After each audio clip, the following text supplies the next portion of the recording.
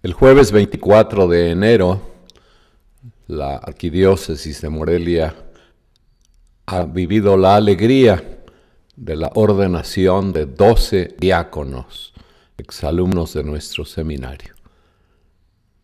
¿Qué son los diáconos? En la iglesia desde el principio los apóstoles compartieron, transmitieron el don del sacerdocio a colaboradores, presbíteros, y en un orden inferior a los diáconos.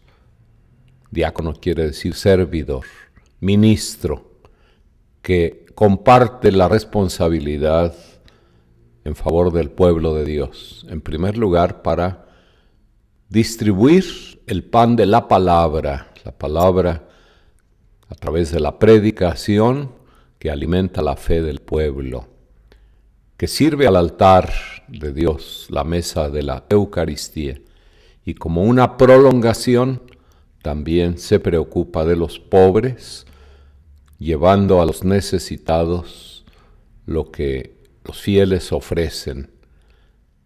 La caridad en la iglesia no es siempre filantropía, sino que es una expresión de fe.